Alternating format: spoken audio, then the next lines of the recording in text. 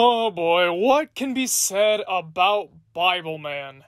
A lot of things, really, and a lot of people have already said them. Take a look at the search results for Bibleman on YouTube. You'll find just tons and tons of people reviewing it and making fun of it and all that sort of stuff. However, few people actually manage to get to the root of the problems with Bibleman in general. I'm in one of the very rare situations on YouTube in that not only did I grow up in a Christian household, but I'm still a Christian today and proud of it. And even I can tell you that Bibleman is not a good show, whether it be a show in general or a Christian show, and I want to tell you why today. Because we're going to be reviewing every single episode of Bibleman, and you're going to see it all the good, the bad, and the ugly. Oh boy, there's a lot of ugly. Mostly with this guy, but we'll get to him later. So sit back and relax as we cover Willie Ames's really strange Christian children's show, Bibleman. Before we begin, I just want to say that this is a Patreon raffle review courtesy of Reziel. And if you too would like your idea for a Media Mementos review to actually happen, then consider donating to our Patreon where once a month we have a raffle to determine the last review of that month. Link in the description below, by the way. First off, a general overview of Bibleman's history, its plot, and all the crazy things that happen behind the scenes. It started off with Willie Ames, this guy who was in a bunch of sitcoms like Charles in Charge and Eight is Enough. He led a very hedonistic lifestyle, and one day he wanted to turn that all around. He ended up becoming a Christian and later on created Bibleman as a way to help bring kids closer to God. But he would do it in a way that would entertain them rather than bore them to tears.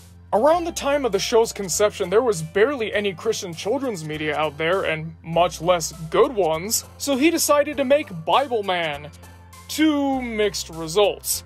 The series was owned by Pamplin Entertainment for the most part, while Willie Ames was the main guy behind the project, Pamplin Entertainment fully held the rights. The show started off as a little bit of a sitcom sort of thing, kinda going back to his roots on Eight is Enough and Charles in Charge.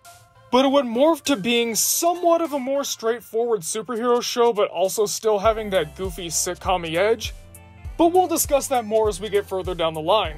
The show was kind of a hit, kind of not, hard to explain. So, amongst most Christian audiences, it was really well received. It would often be the number two Christian children's show right next to VeggieTales. However, in popular culture, this thing was ripped to shreds, both for the way it taught its lessons and its rather lackluster production values. Eventually, Willie Ames would leave the show in order to focus on his family and spend more time with them. Shortly after, the rights to the show were bought by Tommy Nelson. Under their control, Tommy Nelson changed the show into Bibleman Power Source. More on that later on, of course. Bibleman is about a character named Miles Peterson, a man who had it all wealth, status, success. Still, something was lacking, yada yada. I don't want to just quote the intro here. Basically, he gives up on all these worldly possessions and then decides to commit himself to God. And then suddenly becomes Bibleman. It's very inconsistent whether Bibleman is a secret identity of his or if he's just Bibleman and everyone knows it. So, enough with explanations, let's get into the very first episode of Bibleman The Six Lies of the. No, that's not the first episode. So, if we're going by the Tommy Nelson releases, The Six Lies of the Fibbler would be the very first. However, Tommy Nelson didn't re release every episode of Bibleman when they bought the rights. They skipped out on two, excluding the live shows, of course Big Big Book and Back to School. Big Big Book is honestly one of the worst episodes of Bibleman of them all with the worst production values and basically not even a plot at all. It's about Bibleman trying to entertain some kids with a story of his past, and then the second half of it is just a concert. That's pretty much it. Back to School's a little bit of an improvement, but it's still ridiculously goofy and has really bad production values, though, I will say, the budget was basically that of a ham sandwich, so they can't really be fully blamed here. But the weird thing about these episodes is that Bibleman isn't really the main character. In fact, in Big Big Book especially, he barely shows up. It's more about the kids that take part in this church youth group than it is about Bibleman, you know, the title character. But still, if Willie Ames was trying to make these entertaining and unique children's programs, then he wasn't really doing a very good job. Mostly with Big Big Book. Again, Back to School was where they were trying to find their footing. Big Big Book, on the other hand, you can pretty much find the equivalent to this episode on a worship CD. You don't really have to buy the VHS. And now we get to the six lies of the fibbler.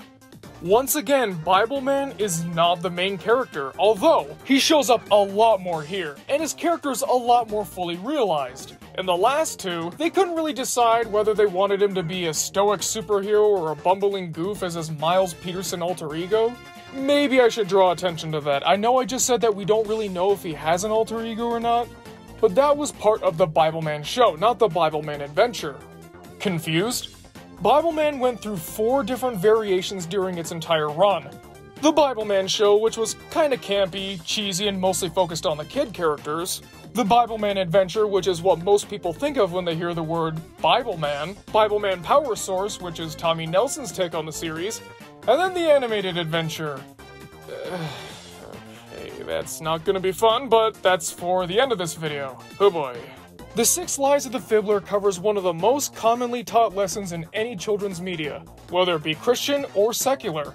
Don't tell lies. And it doesn't really do a very good job in this episode because the Fibbler, the main villain of this episode, he controls one of the kids and forces her to lie. At one point, she started talking about how when she began lying, she couldn't stop. But yeah, that's true because she was being forced to by this creepy villain. The villain in this episode is a straight up demon. That's something that we don't really get a lot of in Bibleman is explanations for who these villains are. Are they humans that work for the devil? Are they demons? Who knows, but this time he's an outright demon. One that makes the lesson very difficult to get across, like I said.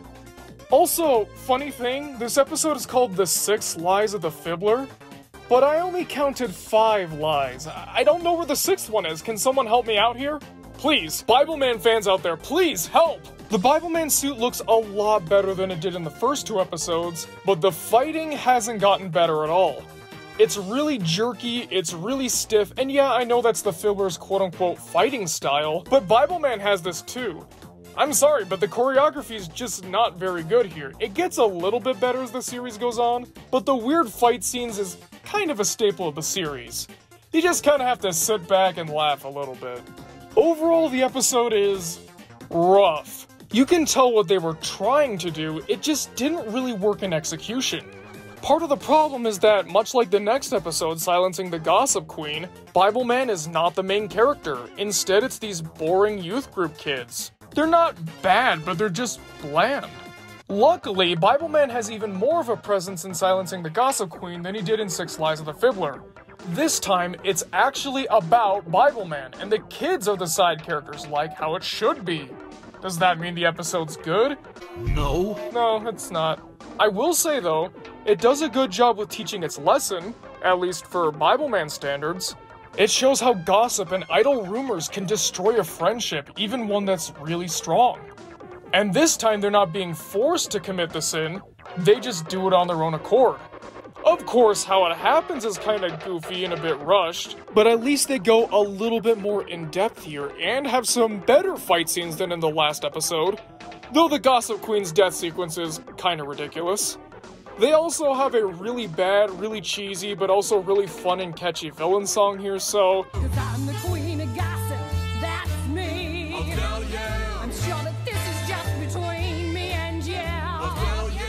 Yeah, I mean, it's not good, but it's fun, and it's the best Bibleman episode so far. You can tell that they were a lot happier with this episode than the last one because they took it as an invitation to start getting bigger. They were ready to get ambitious and to take this new show to new heights.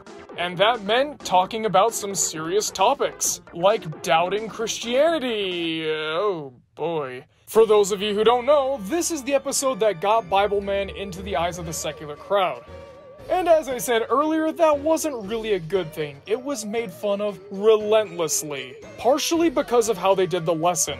Now, as a Christian, this is one of the most important lessons you can teach. But at the same time, Bibleman is gonna do this? Really? He's gonna talk about what you should do when you're having trouble with your faith? Oh no. It's kinda like when Captain Planet tried to teach kids about AIDS. It's just wrong. Now, I'll say that they do an okay job with the lesson, sort of. It works on the surface level, but then when you start thinking about it, it doesn't really answer any of your questions. This is honestly something they can't really fix because of two reasons. One, this is way too short. If they wanted to get into this lesson, and I mean really get into it, this needed to be a longer episode, not like 28 minutes. And second, the lesson isn't the only thing they're focusing on here. This isn't a sermon, this isn't some kind of radio broadcast telling you about different lessons you could be learning each week. It's an action adventure comedy show. For as much time as they spend on the lesson, they spend double the amount of time with our villain, the Shadow of Doubt, or Bibleman and his computer friend Eunice and his new sidekick Coates. There's a song sequence, they do a lot of really crazy fights.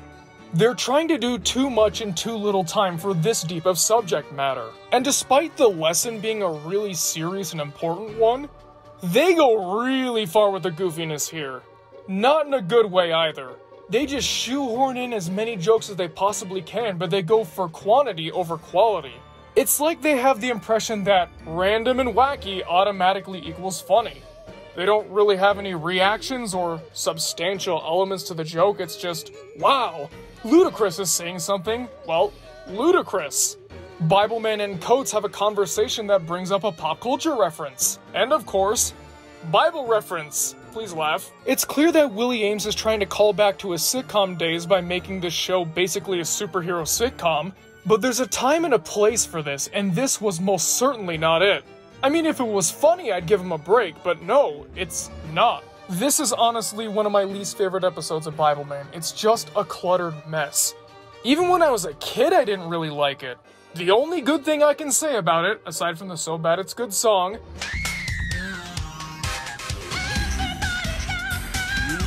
Looking fine. is the main villain, the Shadow of Doubt. This guy is played by Brian Lemons, and he is a legend. He would come back again and again and again over the course of the Bibleman adventure, and I can definitely see why. He's a really good actor. He's fun, he's energetic, and he can be threatening when he needs to be. Sadly, he wasn't really directed very well in this episode, and I do know that it's the direction. In most of the other episodes, he does a really good job, and he's definitely my favorite character. Possibly in response to the Shadow of Doubt fiasco, although that's not confirmed, it's just a personal theory of mine. They decided to go back to simpler lessons in their next episode, The Incredible Force of Joy. And looking at your screen, you can tell right away that things are pretty different. Bibleman has a new costume. The production values have gotten a little bit better. The shots are framed to be less like a sitcom and more like an action adventure show, like what it's supposed to be. I gotta say, at least in terms of a production, this was a major step up. And for what it's worth, the lessons taught decently well here. This episode's all about something that everyone can understand having your heart and your thoughts in a positive place. Sometimes bad things happen to you, and sometimes it feels like they'll never get better. But when that happens, you need to focus on what you do have and what is going right, and you'll at least be a little bit better off. And of course, it talks about relying on God, of course. It wouldn't be Bibleman if it didn't do that. So, was this episode good? I'd say it's decent, actually. There are just two things that hold it back. Firstly, our designated Kid of the Week is honestly not a very good actor at all. He's pretty stiff, he's pretty wooden, and he just sounds like he's reading off a script most of the time, probably because he is. And secondly, that humor, man, they just will not stop. They throw in a random never ending story reference for crying out loud. I mean, come on, really? Falkor! Atreyu! And it's all paced so poorly. The jokes don't happen naturally. It just feels like Willie Ames was going, okay, joke here, Secret Agent Eunice is on the case. She has been watching way too much TV. joke here, The producers gave this part to me because Carmen wasn't available. joke here. We need to keep adding jokes. They're not going to pay attention if we don't have jokes. But other than that, The Incredible Force of Joy is actually pretty decent. Now, I wouldn't go out of my way to watch it, but definitely for Bibleman, this is a major improvement. And I hope they carry that over into the next episode, The Fiendish Works of Dr. Fear. Spoiler alert, they almost did. They were so, so close to making this one good. They have the lesson that's taught really well. They have some actually pretty well choreographed action scenes for the most part. I mean, of course, it still looks like they're trying to aim for each other's swords rather than their bodies, but I'd say they work well enough. And it's also the darkest that Bibleman's been so far. Bibleman fears losing his sidekick Coates. Whether that be him leaving the squad or him dying in action, it's kinda left open to interpretation. Either way, it takes a little bit of a serious look at some of Miles Peterson's personal flaws. That and his relationship with his best friend. Can he keep going on knowing that any single battle with Coates could be his last? Of course, they all have to ruin it with all those jokes. This is the worst pacing that Bibleman has ever had. The jokes are extremely painful here. Because on one hand, you have a decently told story and a good lesson, but then you just gotta throw in this really weird, goofy bunch of demons that help Dr. Fear with his inventions. You have more random pop culture references and shoehorn wackiness, and once again, there's no transition, it's a breakneck pace. I know that seems like a minor element, but trust me, it's really important. Because every time you're about to be interested in what the characters are going through, or the story that's going on, or you're trying to learn about the lesson, they just do something stupid and goofy, and then they don't stop. But I will say that this is some of Brian Lemon's finest work. He really nails Dr. Fear. I mean, technically, yeah, they're all Luxor Spondroth in universe, they're the same guy, but still. Maybe it's what they did to his voice in post production, maybe it's the way he carries himself, I don't know. But I think that Dr. Fear is one of his best roles, and this could have been one of the best Bibleman episodes of them all. It's just such a shame that they had to go back to the big, big book Six Lies of the Fibbler stuff and just goof it all up. This next one, Conquering the Wrath of Rage, is honestly pretty interesting, but not for the reasons you might think. The episode itself is okay. The action's okay, the lesson is okay, the humor is still painful, and that song is Wow. I mean, some of the songs in Bibleman can be so bad they're good, or Nothing Makes Me Happy's case, they're just good, good. But this is just bad. Really bad. It's a needless parody, it's shoehorned in, it's awkward as can be, it just doesn't work.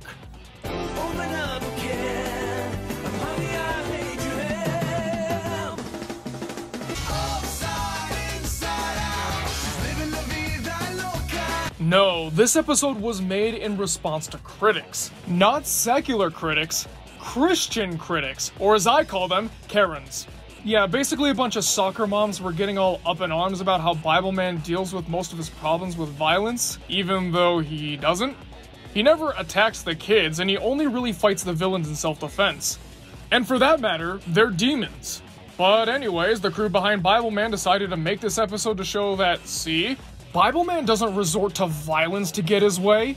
I mean, he sort of does, you know, considering how he kills a lot of his enemies, especially in the next episode with a very gruesome death. But he doesn't in this one. Instead, he literally just stands there and lets God do all the work because.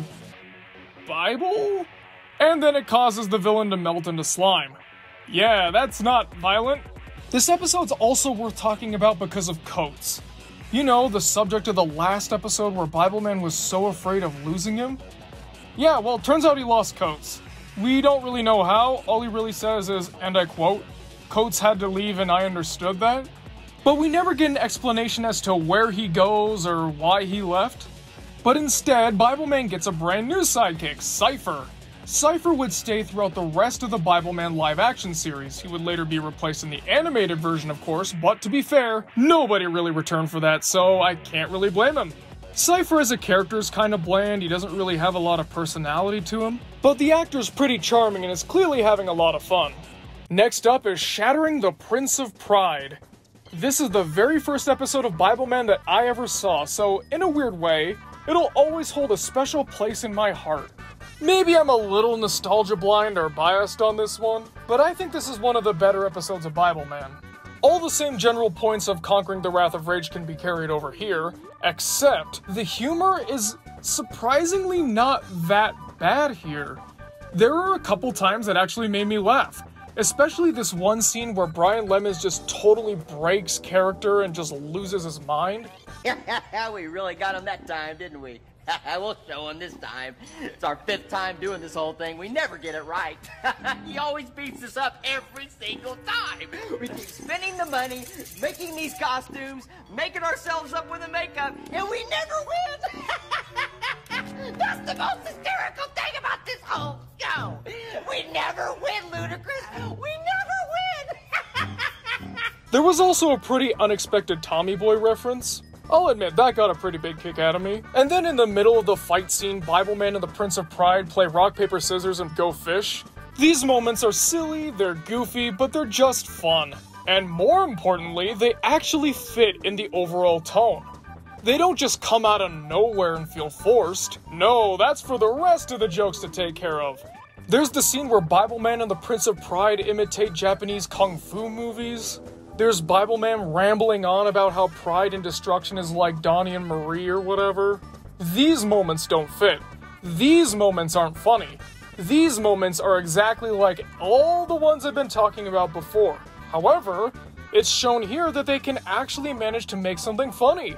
All they really need to do is learn some comedic pacing and not rely on endless pop culture references or random wackiness. Before we move on to the next episode, though, I do want to point out that this has the most gruesome scene in any Bibleman episode ever. This is how the Prince of Pride dies.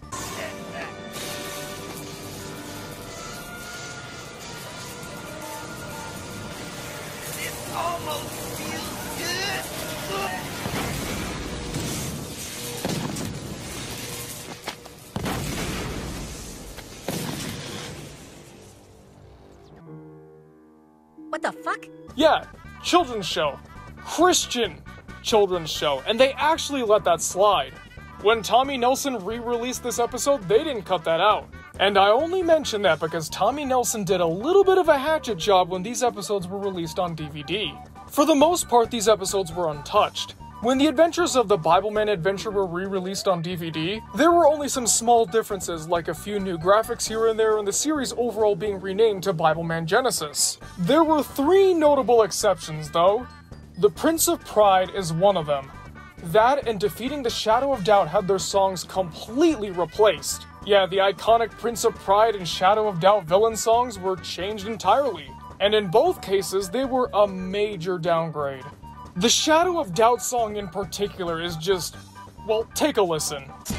I am a villain with molded teeth. Some say I'm stinky, I say I'm sweet.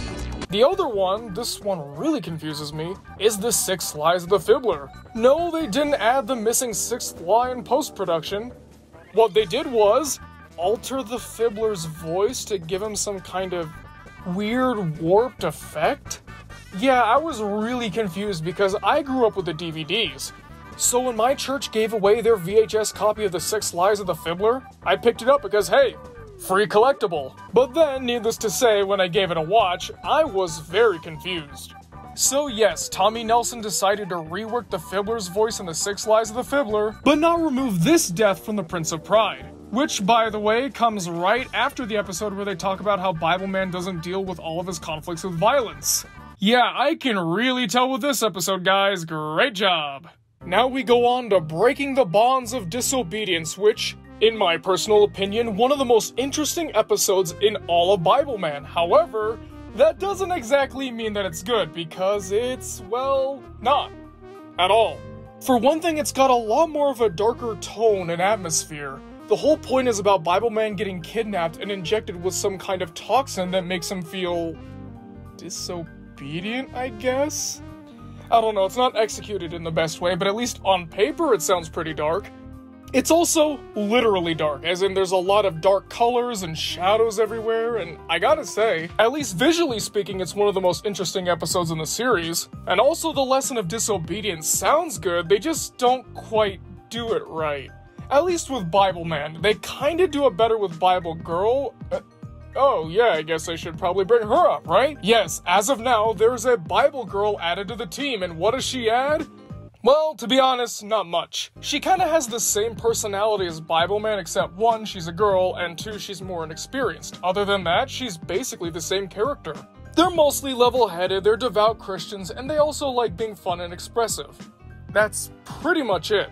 And Bibleman's already not the strongest character out there, so having two of them, not great, but also not bad. It's just that, well, Eunice was a far better female character already. For one, she actually had a personality, and two, she's actually fun and funny. Anyways, the reason I say that the lesson's executed well with Bible Girl is because it actually makes a lot more sense. She can either go on to be a big Broadway star or she can join the Bibleman team. One of them's what she wants and the other's what God wants. Is she gonna do what God tells her to do or is she gonna chase after her own interests? That's well done. I gotta give him credit for that. So that, combined with a darker atmosphere and tone, would make this thing one of the better episodes if they didn't also have things like Ludicrous butting in every couple seconds with even worse jokes than normal, and also this weird Forrest Gump bit that makes no sense. Mama always used to say, your life would be like a box of molded chocolates.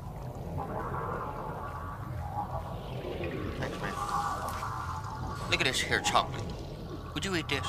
Also, here's a weird little thing that annoyed me ever since I was little. The villain in this episode, Luxor Spondroth, is the same villain that's been here since Shadow of Doubt.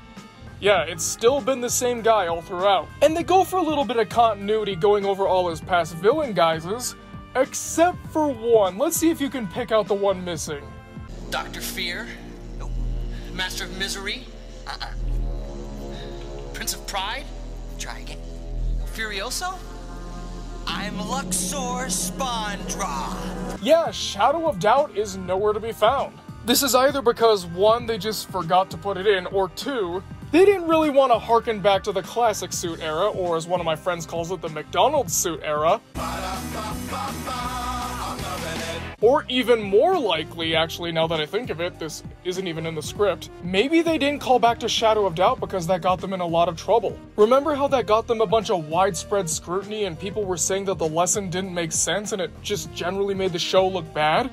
Who knows? That could be why they forgot Shadow of Doubt here, but either way, I guess it's kind of nice that we have some continuity here. So, as a whole, breaking the bonds of disobedience is kind of all over the place, really.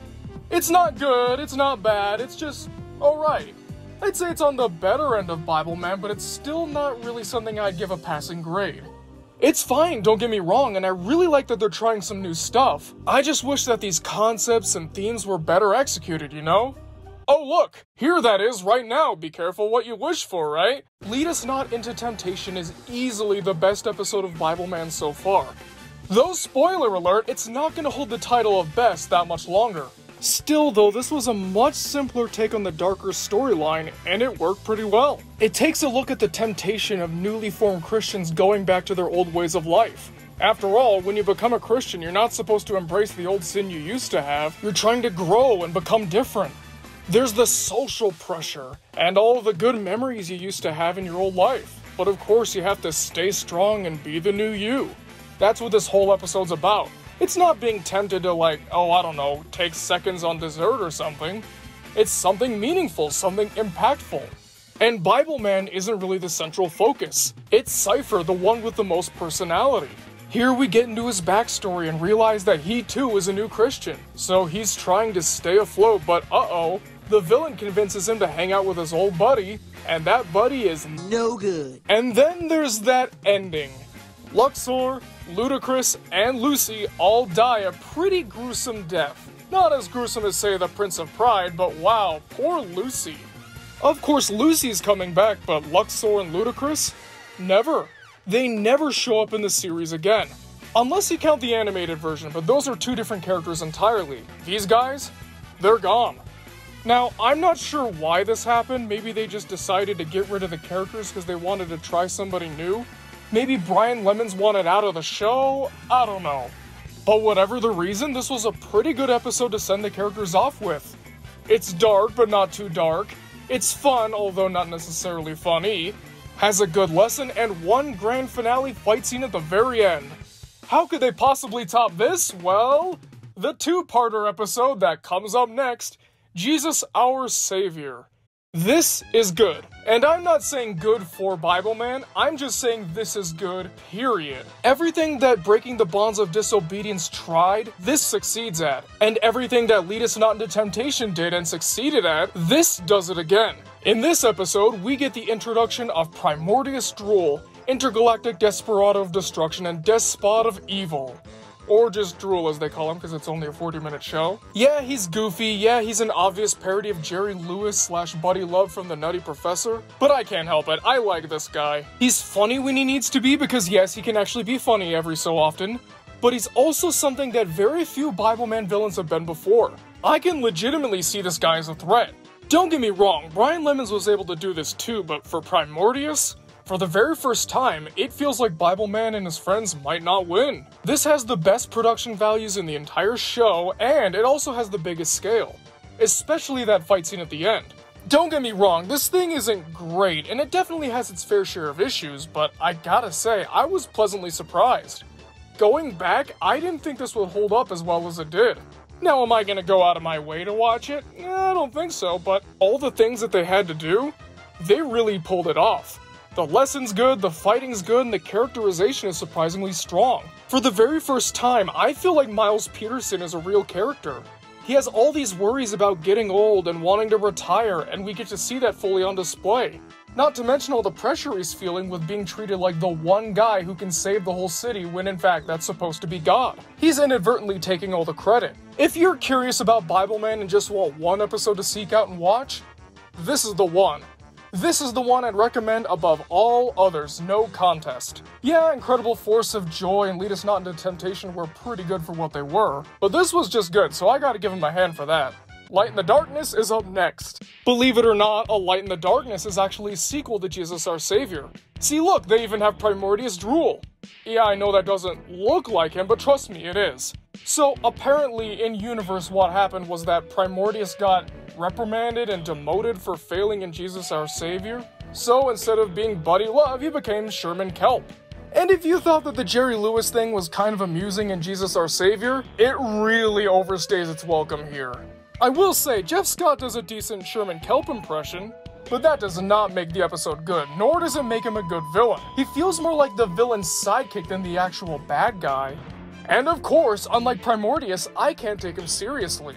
All that grandeur and scale and pizzazz, all gone. Instead, we just have this dorka doofus that just bumbles around all the time and can't get anything right. The lesson kinda feels like a retread of the Incredible Force of Joy, though for what it's worth, it does do the lesson pretty well.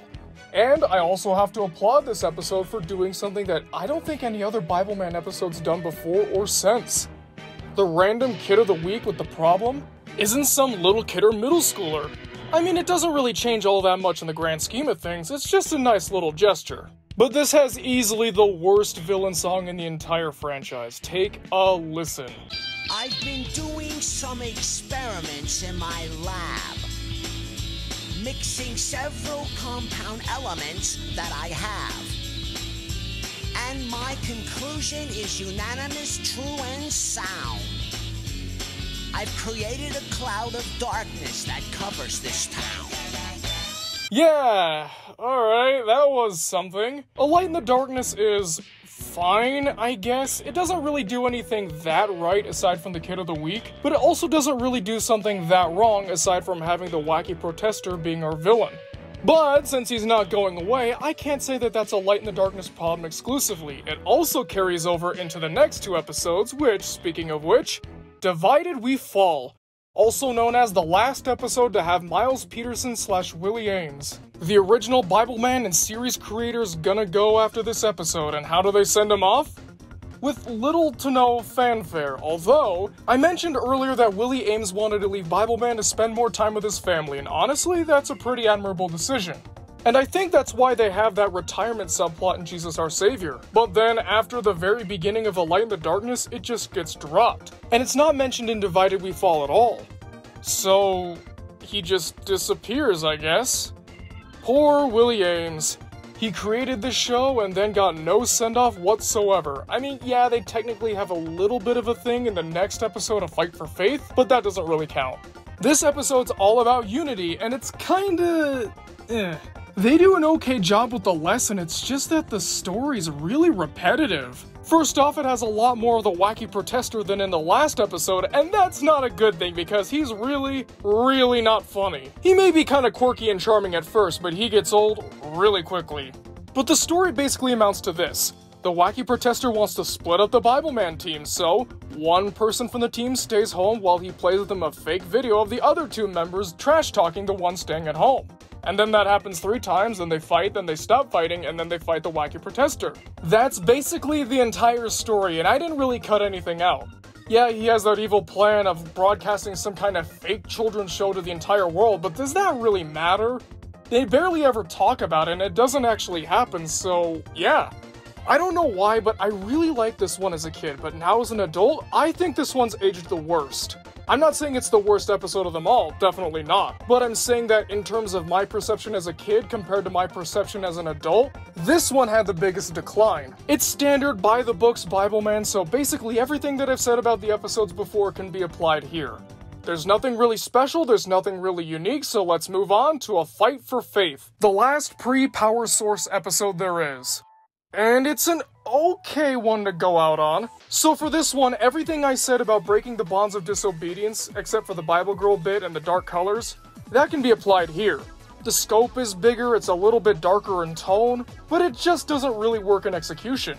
Partially because while they're trying to have this bigger story about these kids being lured to a world with no God, Almost half the episode is the wacky protester being a goof and going through an identity crisis and changing his name to Rutong Gi. Once again, he's not funny and he gets old really quickly, and now that I've seen three episodes with him now, I'm longing for the days of Dr. Fear or Primordius Drool.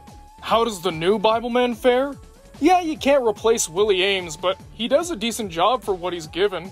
Again, this episode isn't very good, so it's not the greatest introduction. Still, though, the actor does a pretty good job. The character, on the other hand, Josh Carpenter, can best be described as. There's nothing to this guy except he's nice, and that's it. Miles Peterson wasn't exactly a complex or deep character either, but still, this is pretty bad. Good actor, just not a good character to go with him. Even so, this is the best way to finish off the first run of Bibleman. It has all the strengths and weaknesses that the show had fully on display, and it's good that it showed that to the audience right now because after this episode, things would change forever. With Tommy Nelson purchasing the series, they decided to retool it into Bibleman Power Source. And it was basically a completely different show, but also at the same time, a Flanderization of the original.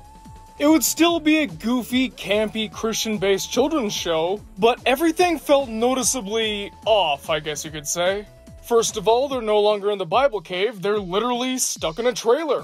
Yeah, all that high tech equipment, all that computerized stuff that Eunice had from before, now it's here in a trailer park. Alright, I mean, I guess that's quirky and fun. Bibleman's still here, well, the new one at least. Cypher's still here, Eunice is still here, but Bible Girl is gone. Well, gone for a little bit, but then she comes back two episodes later. In the meantime, she's replaced with this girl named Melanie, who's Bibleman's cousin, and she's basically the exact same character, so moving on. Bibleman was a goofy show, yes, but it still had some grounding in reality. It still had some moments where it could sit back and be quiet and take things easy. In Power Source, it's like they wanted to be a live action cartoon everything is always energized, everything's always buzzing and snappy and I'll admit, if you're a cynic and you just want to laugh at something, these are the episodes to do it with. However, if you're looking for an actually competent show or one that had some heart behind it, I think I'd rather stick with classic Bibleman, or as Tommy Nelson calls it, Bibleman Genesis. Sure, it may not have been a great show, but for one, its heart was in the right place. And two, even if things didn't work in execution, you can still tell that they were trying to do their own thing. They were trying to be Bibleman, simple as that. Bibleman Power Source constantly has this corporate feeling to it. It doesn't feel like it's coming from a real, genuine place of wanting to teach and tell a story. All the wackiness, all the really easy lessons they go for, it just feels like a bunch of people in suits made this, and it doesn't feel right. Next to VeggieTales, Bibleman was the biggest earner at the time, so they had to keep running with it, and just like VeggieTales, they let the corporate side take over. However, unlike VeggieTales, there wasn't some kind of big movie that they released way too early in their life and it caused the whole thing to go belly up, but let's talk about that probably never. So many people have already talked about that, so let's move back to Bibleman, the first episode of Bibleman Power Source, terminating the toxic tonic of disrespect. Okay, there's something else I gotta mention. All of the titles for the episodes, except for one, will be blanking the blank of blank. And sometimes they'll really stretch to find a verb, like lambasting the legions of laziness. Really? That was the best title you had? They think they're charming, rakish, roguish, Anyways, turning back to ter- the, uh, oh come on, this is so hard to say. Turning back to terminating the toxic tonic of disrespect. Why did I write it like that? That's impossible to say.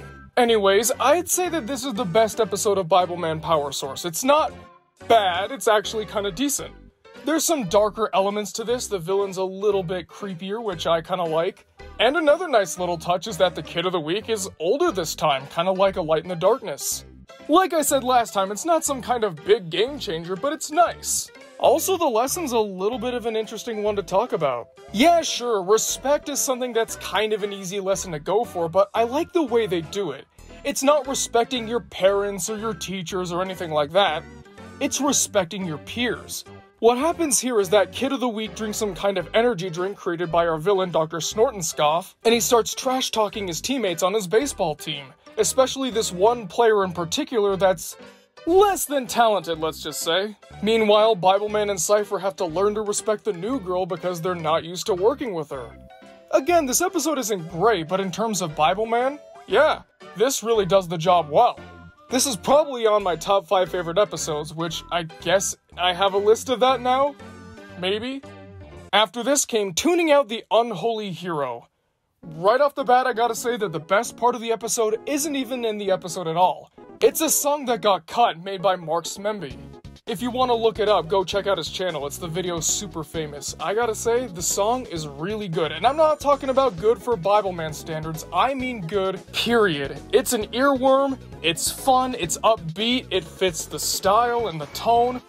What more do you want? Well, I guess having it be in the episode would have been nice. This episode is another one that takes an interesting look at a commonly done lesson bad influences. It goes through that whole tired old argument of, oh, you better be careful of what you watch on TV because they're gonna lead you down a bad path. Only in this case, it makes them talk black to their parents. No, I didn't mean talk back to them, I really did mean talk black. Turn the TV off, please, and call your sister to dinner. I'm busy right now. Yeah, uh, okay. What? I said it was interesting, I didn't really say it was good. This episode overall is alright. Essentially, it does everything that Toxic Tonic did well, and does it less good, but still fine. It's definitely on the upper end of Bibleman, but still not something I necessarily recommend. However, there are two factors to this episode that I really have to give them credit for, and no, the song isn't one of them. First of all, the villain's a whole lot of fun. He's clearly having the time of his life, he's a good actor, and he's got a lot of charisma. What's not to like? And second, this is the last episode of Bibleman where Bibleman kills his foe. Yeah, maybe I didn't mention that. Those instances in conquering the Wrath of Rage and shattering the Prince of Pride, yeah, that wasn't an isolated thing. Those happen in almost every episode.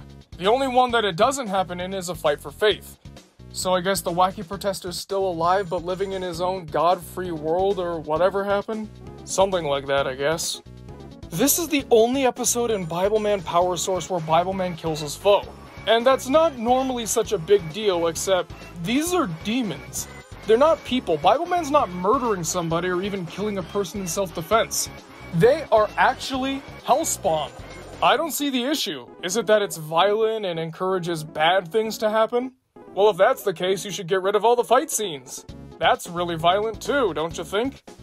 From here on out, Bibleman will either shrink his foes, put them in jars, or in one case, literally mail them to hell. Yeah, he can't kill them, no more stabbing them or blowing them up or having them be electrocuted in a very gruesome manner. Nope, just shove them in a box and send them down to the fiery pits of hell. Because that's what a Christian would do, I guess. On the whole, tuning out the unholy hero is passable. It's fine.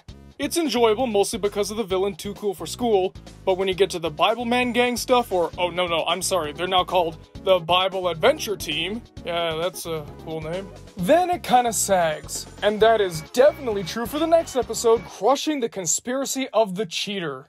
One thing I gotta address right off the bat is that this has a product placement for Pump It Up. If you don't know what Pump It Up is, it was this old party place where they had inflatable slides and games and basically just anything a kid would like. But it's not fully a product placement because they changed the name to Jump It Up so that they don't get sued. So why did you include that here? It also adds nothing to the story and just exists to kind of have a goofy, dumb fight scene. I even thought this was weird when I was a kid. The lesson of cheating is basic and they teach it in a very basic way. The Bible Adventure team, that just doesn't sound right. Their stuff is just eh. It doesn't amount to anything, it's not fun, it's not interesting, it's really hokey and corny. Speaking of hokey and corny, we got the villain, the cheater. He is everything I just said about the Bible Adventure team except for the boring stuff. This guy is a hoot. The actor is hamming it up like mad. If you thought that Too Cool for School was having the time of his life, you ain't seen nothing yet. But everyone does it sometime! Haven't you ever peeked during hide and seek? what can I say? I'm a giver! All you've ever given is trouble. He was in Terminating the Toxic Tonic of Disrespect as a cameo, but here he is, fully on display. I guess they really liked writing for the character or something because they brought him back here as the main villain. And he works really well. He's really the only thing I like about this episode. This is where that corporate feeling really starts to take over. It's unavoidable here, and aside from the cheater, it's flat, dull, boring, and basic. And you know what? I can basically copy and paste the same review for the next episode, lambasting the legions of laziness, except the villain's not nearly as fun. He's basically just the Santa guy who wants people to be lazy and he keeps forgetting his name. Also, yes, this is the episode with the CinemaSins guy in it. Just thought I'd bring that up. This episode's already been reviewed by Say Goodnight Kevin, and really, he got it right. There's nothing else I can add, so moving on. Blasting the Game Master Bully. Wow, just wow. This is just so kidified and flat, and really, what else can I say? I think out of every episode of Bibleman, aside from the animated stuff, this is the worst. This is the absolute worst. Even as a kid, I agreed. There's nothing to this at all. A basic bullying lesson. Bibleman suddenly has a secret identity he wants to keep. And yes, Bibleman lets himself get picked on by a robot enemy of his, because I guess that makes sense? That's our big strong hero, everybody. Getting picked on by an evil robot bully. I got this episode when I was a kid, I watched it once and never again. I was thoroughly unimpressed, and going back to it as an adult, it's even worse. With this episode, it becomes abundantly clear that Bibleman's just running on fumes. So, what better way to show that you're running on fumes than by making one final episode? At least I think that's what it was supposed to be. In the Presence of Enemies really feels like they were trying to make a big grand finale, but it just didn't work. For one thing, In the Presence of Enemies doesn't really have a lesson. They try to say it's about reading your Bible and making sure you know it, but they barely touch on that at all. And the plot makes no sense. Basically, all the villains team up together, which, for one thing, how? Too Cool for School is supposed to be dead, and Slacker's supposed to be burning in the pits of hell. And I know that sounds bad out of context, but that's what happened in the episode, remember? Also, Dr. Snortenscoff just appears via cameo in this, so he's still at large. Go get him, Bibleman! Oh wait, you can't. The series is over. But yeah, the whole thing is basically an excuse to have a bunch of callbacks to the Bibleman power source villains, and it doesn't really work. I like some of the banter they have, but it gets old really quickly because largely it's all the same thing. I Am Wonderful is full of herself and sassy, Slacker's always slacking off, Cheater is okay, Cheater's still awesome. But you get the point. This was another one where I got it as a kid and I just couldn't stand to watch it one more time. In fact, after I watched it, I thought, alright, no more. I'm done. The show has clearly gotten derailed, it's not fun anymore, I'm done, I'm giving up. And wouldn't you know it, that was the last episode, so I guess I jumped off right at the right time. Except, no. Bibleman ended with little to no fanfare aside from this episode, which was quietly released and then quickly forgotten about. The series lived on through discussions of, hey, remember Bibleman? And of course, internet reviews and memes. But then, tragedy struck. It came back in animated form. Dear God. There's more. No. This. Oh, wow. I knew this would be a disaster right from the first trailer. And I was right. I think they're taking a page from VeggieTales in the house here by trying to make some kind of rushed, not well written, slap together animated adventure.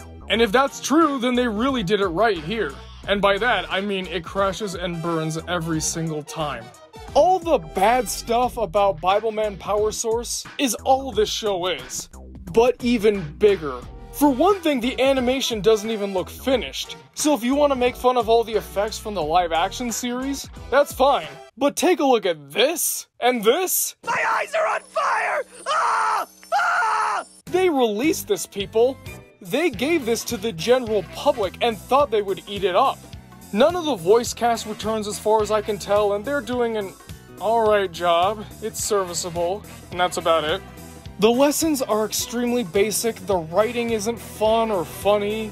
When watching all the episodes that I saw, I couldn't imagine any kid getting into this.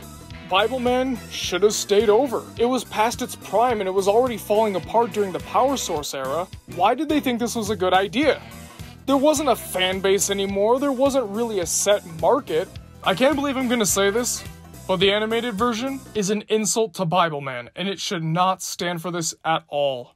Bibleman deserves better. Even if it wasn't necessarily a good show, I still have a soft spot for it. It may be weird, it may be goofy, it may not really do things right in the grand scheme of things, but not only was it trying to do the right thing, but it was a passion project from a guy who was speaking from his heart. Whether or not you're a Christian, it can be said that religion can change your life for the better. Sometimes when you're down on your luck and you don't really know where your life's going and you're making mistake after mistake, turning to God can really fix things for you. Willie Aames felt that full well and wanted to share it with the world. It's just a shame that it didn't necessarily work out the way he intended. What with the bad press from defeating the shadow of doubt, to getting all those complaint letters about the violence in the show, to having to step away to spend more time with his family and leaving his creation behind, causing it to get turned into this and then later this, it's hard to get mad at him. In fact, I don't think I could.